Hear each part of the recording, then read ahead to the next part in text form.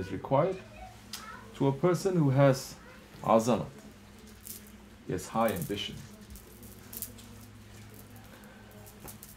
Then it is not only a requirement, for him it's compulsory because his spirit is not satisfied now. If you have high intelligence and the teacher keeps moving you backwards or keeps saying, no, no, no, stay with the same class, don't go forward, what's going to happen to you intellectually? You get very stressed out, right? You can start acting out this way or that way. So for those ones, now, that's because Allah has given the invitation for everyone to come close to Him. It's not only to select few, everyone. That's why He sent prophets. Prophets saying, ever saying, this is for you and this is not for you? No. Ever awliya Allah, when they come and they give wa'az or they give sohbat, they say, no, this is not for you, you move away from here. This is only for special people. No, they give to everyone. But they're seeing amongst the ones that they have given, there are some who have higher aspirations. Then they say, maybe you should sit a little bit over here. Those who don't want, who cannot carry it, maybe you should stay over there. But it doesn't mean now these ones they're not going to follow. You see, people are not understanding. They are thinking that tariqat is an, uh, a nice addition, you know, if you have Islam praying five times and you believe, you have Iman, then Ihsan is only optional. But that hadith of alayhi salam, Prophet alayhi giving us these three, they are together. Islam, Iman and Ihsan. And Ihsan, Hasan, to make it beautiful to worship Allah as if you see Him. If you don't see Him, to know that Allah is seeing you. This is what tariqat is bringing to you. So now decide whether it is optional or not, whether it is necessary or not, whether it is uh, what is it, superfluous or not. You see, to a man who has high spirituality, he wants to learn, and this is anything that tariqat is bringing that is not ilm, it is complete ilm. It's bringing. But not just ilm. Ilm. You understand? Ilm. With your hands and your feet, you understand? Not just, hmm, yes, I get it. Taking down notes. Uh, no. Put it to your heart. Once it starts pumping to your heart, to the rest of your body, now you cannot keep still now. You start making things, building things.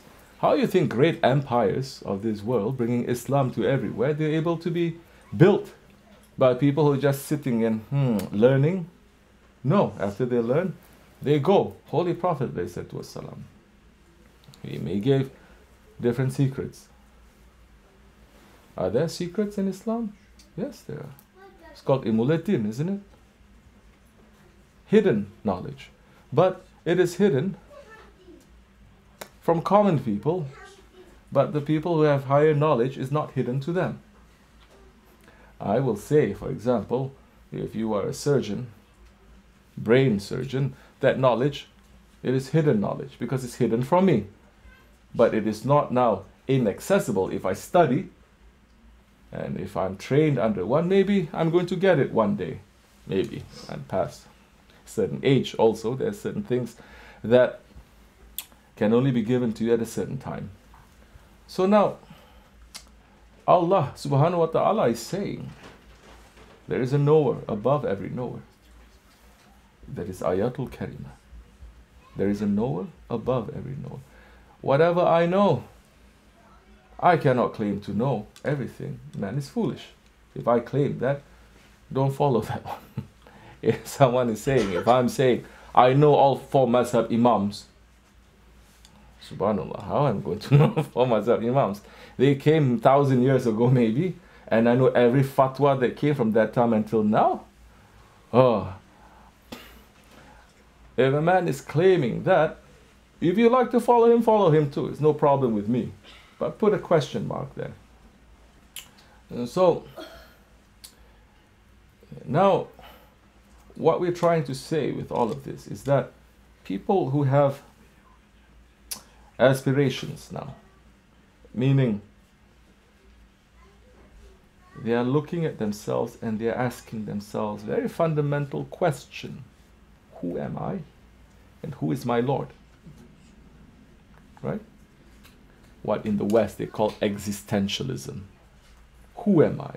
What is my place here? What is my purpose here? Why am I born? Where am I going to? All these questions, even kafirs, they ask. Now, for the Muslim who believes in Allah subhanahu wa ta'ala, the believer must ask. The believer cannot say, Oh, that's it. I say Shahadat. I pray five times a day. I'm assured to go to paradise. Nothing is assured to us. Allah is the turner of hearts. If Allah wants, He can turn your heart. So, uh, now, the one who is asking himself, Who am I and who is my Lord? and he's questioning himself, that is the one that we say they have high aspiration. That's the one that they say, now, according to the book knowledge, is not going to give you an answer too much. Now you have to follow someone who is the author of the book. Hmm? There's Quran. Ever you hear any Sahabe Kiram, they say, no, no, no, no need to follow Prophet so much. We follow Quran. Ever you hear anyone saying that? Any prophet? Any Sahabi saying that? No, they follow the author of the Quran, the walking Quran. And there are Warisul Anbiya. Warisul Anbiya, the inheritors of the prophets who are walking Qurans also. We were just about to say Hujjatul Islam, Imam al Ghazali. Can anyone claim to be higher than Hujjatul Islam? Can anyone? Any scholar now? Can anyone claim to be? No. No one can claim to be higher than him. He went through a crisis of faith, didn't he? This is well known. He studied so much, he's able to give fatwas continuously from morning to evening. He knows Quran, he knows Hadith, he knows everything back and forth. But he went through a crisis of faith. Now, faith, now we come to understand faith. Now, it's more than doing, it's more than knowing. It is what goes on in here, what you really believe.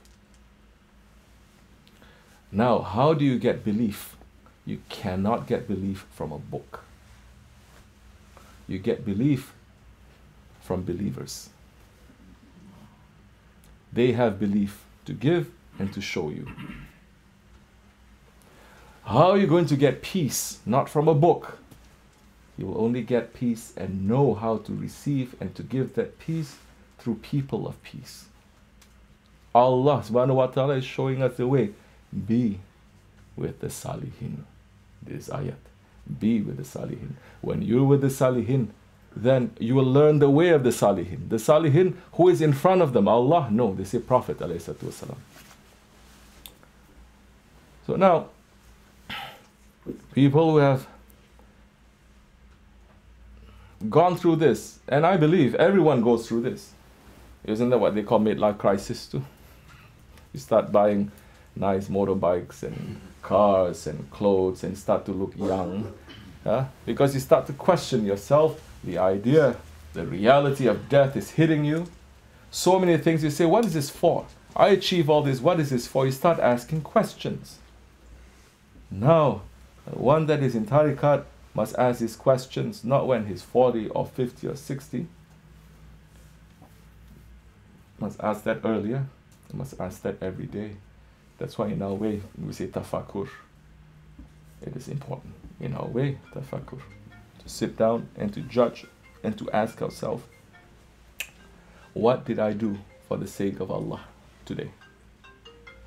What am I doing today that is only for Allah's sake? Did I live according to Islam? Did I live according to my religion?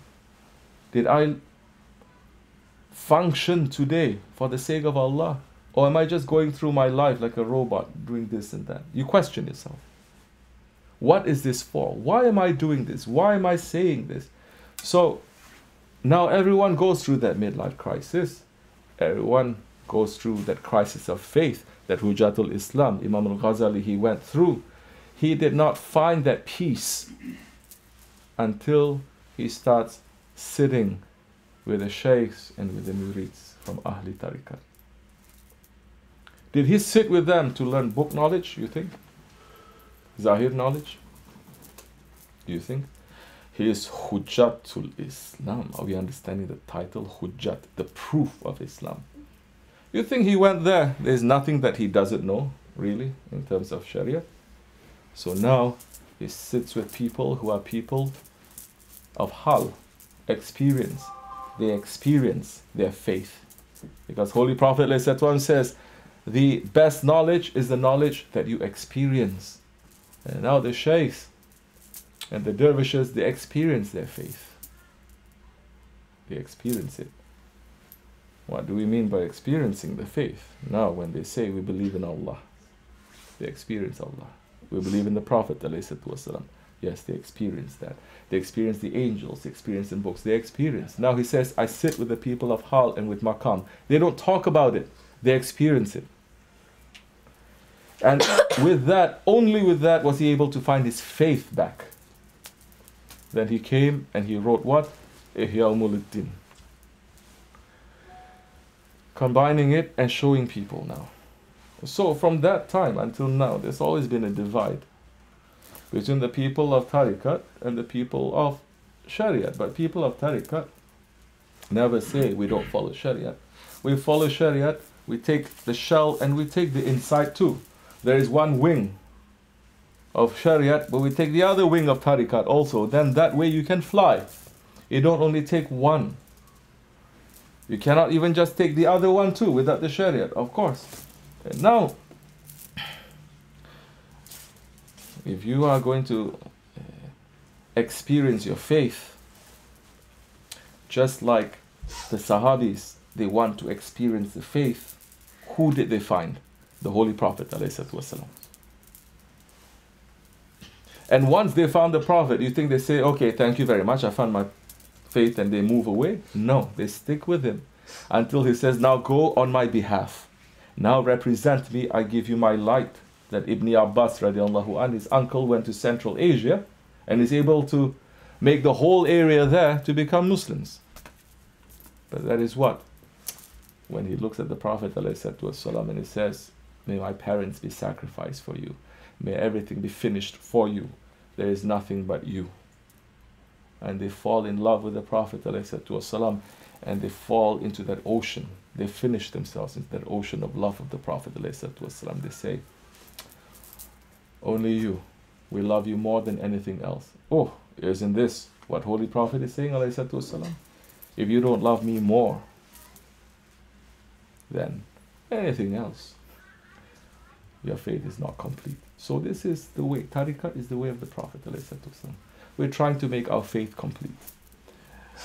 We're not forcing anyone to come. We're not forcing anyone to stay. If you know that you want something more, welcome. If you think this is it, that this is what you have and it's okay for you, we say welcome to you too. There's so many people who stop at high school and they're happy with it. It's okay. There's so many people who stop at college level. We say that's okay too. But we're going to teach you something that's higher than that. Without losing your foundation, without losing your base. You come back now full circle, back to the beginning. And the beginning of Islam is you believe in Allah, you believe in the Prophet. After Prophet passed, Abu Bakr Siddiq, you believe in the Abu Bakr Siddiq. He is representing him. After him, Hazrat Umar, Hazrat Usman, Hazrat Ali, continuing both in the way of the physical world and also in the way of the spiritual world, continuing with other tariqats. You believe, meaning that one is representing that one who represents the Prophet. So now you have a guide, and that guide is one who is connected, who has a lineage to the Prophet. And only people who have a lineage not just by blood, but also by life. So many people by blood they have, but you find them in clubs, you find them in you find them in there. Isn't that rea- reality? But there are those ones who are real seeds, and they really go out of their way, their lives, they're sacrificing for the people. So, if you like, join us. If you don't, it's okay.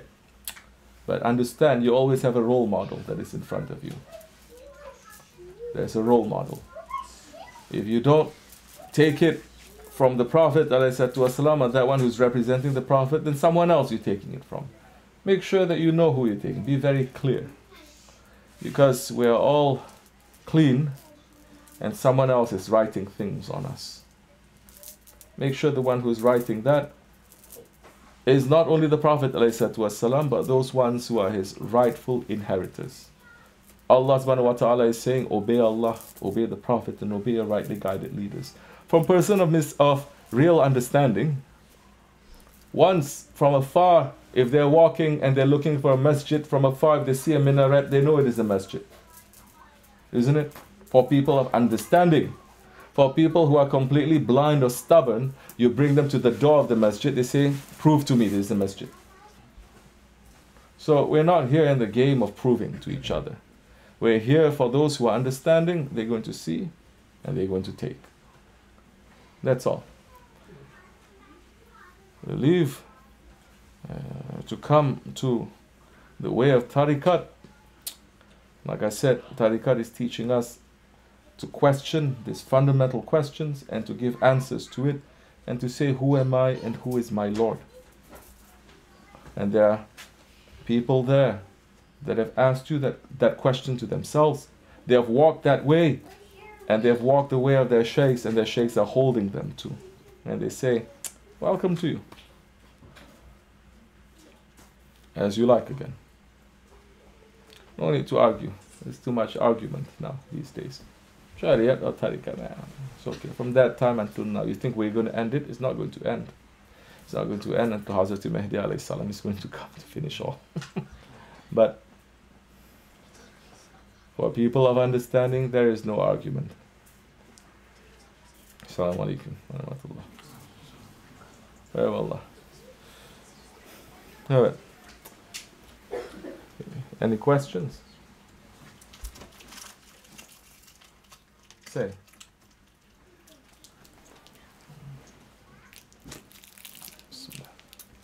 Bismillahirrahmanirrahim. There is a hadith saying that the Holy Quran will act as an intercession on Judgment Day for those who read it. Mm-hmm. Of course, we have to live by what the Holy Quran says and apply it to our daily lives, but does this tariqah emphasize reading from Quran on a daily basis or often? Bismillah ar-Rahman ar-Rahim. People are usually looking at us and thinking that because we are emphasizing don't read the Quran, don't just rely on the Quran. They're saying, oh, these people, they're telling people not to read the Quran. That's not what we mean. We're showing you a little bit of the minaret, and you are saying, what? What is that? You're not understanding what is that. In the Naqshbandi way, we read the Quran five times a day. Not once, five times.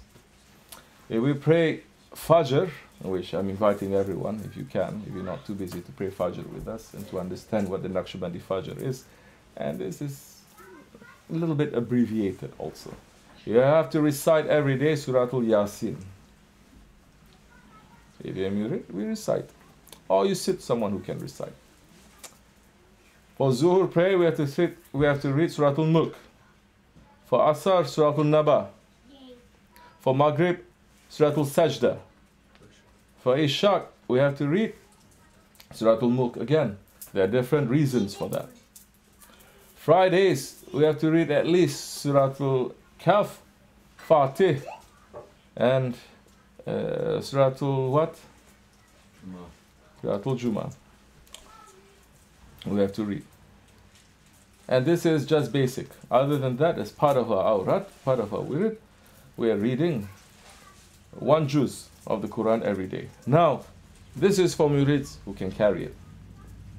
Because, you know, if you're a good teacher, you're not going to give your students something that they cannot carry. Good teacher, good doctors, if you're a bus driver, you're not going to tell everyone now learn how to be to drive the bus. They may do it for you. If you can do it, you do it. If you cannot do it, there are ways of substituting it also. Part of a daily zikr, if you cannot read one juz of the Quran, then read one hizb of the Dalil Sharif. If you cannot do that, recite 100 times Ikhlas Sharif. We are listening to the sohbats of our Shaykh and You see, like I said, a lot of people, I don't know what's happening sometimes. Uh, it's they are so used to certain ways, and they say if this certain way is not presented to us, it cannot be authentic. It's very easy for us to sit here and to be reciting Quran in perfect Arabic and to recite, you know, that this is coming from this surah, this verse, and everything the way that the scholars they are doing, but like I said, we are not a scholastic association. We will say things that it will fit into everyone's intelligence at whatever level.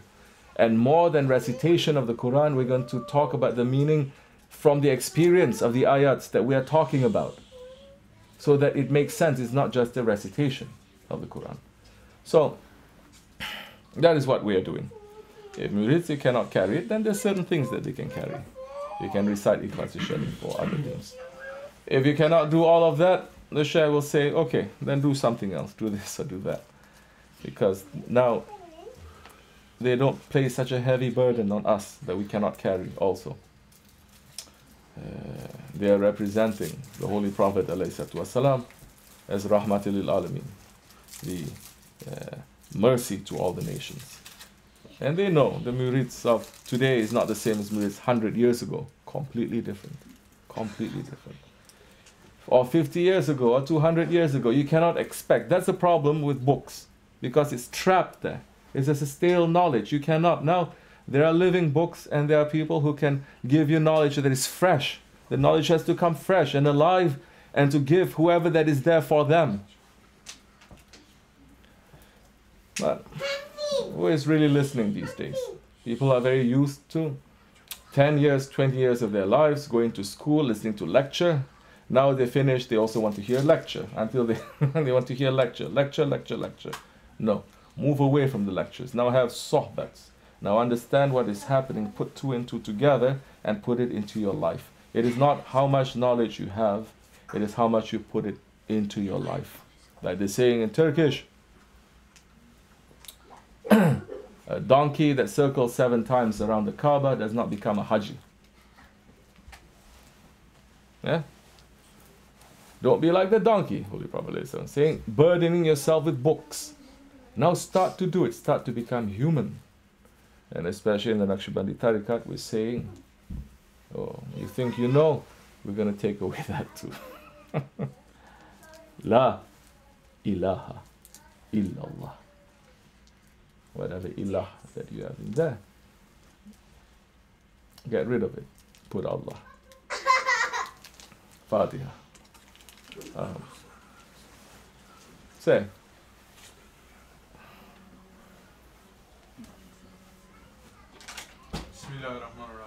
When I get angry, I can be so loud and speak so much, but when I'm doing zikr, I struggle to get my voice to be loud and sometimes struggle to keep up with the leader. Is there anything I can do to fix this problem? Yeah, don't get angry. Number one. In zikr time, step on your ego. That is all the ego. Uh, yeah, a lot of people, they are like that. When it comes to their own nafs, they get very excited, they get very loud. But when it comes to saying Allah, everyone is very subtle and subdued. Why is that? It's loud. Zikr is loud. We're not even making hadra here. If we make hadra at that time, oh, you have to jump up and down now. Yeah. Silent zikr, we're doing that too. That's the time when you shut everything down. You shut this down, you shut everything. Now you're just remembering Allah. You can try to be around the Jamaat a little bit more. If you can, try to be around me physically. I'm going to wash you up that time. Then you're going to fix this problem. I'm not going to say read this ayat, read this dua, everything. There are certain things you have to be there. And you're going to say, why are you doing this? going to have to knock you wall to wall. You're going to fix you, then it's okay. Now we're too much talking to you. You're going to say, what's the matter with you? You cannot even say Allah. Oh, yeah. Easy that time, inshallah. It is. That's how it is. Assalamu alaikum. Say.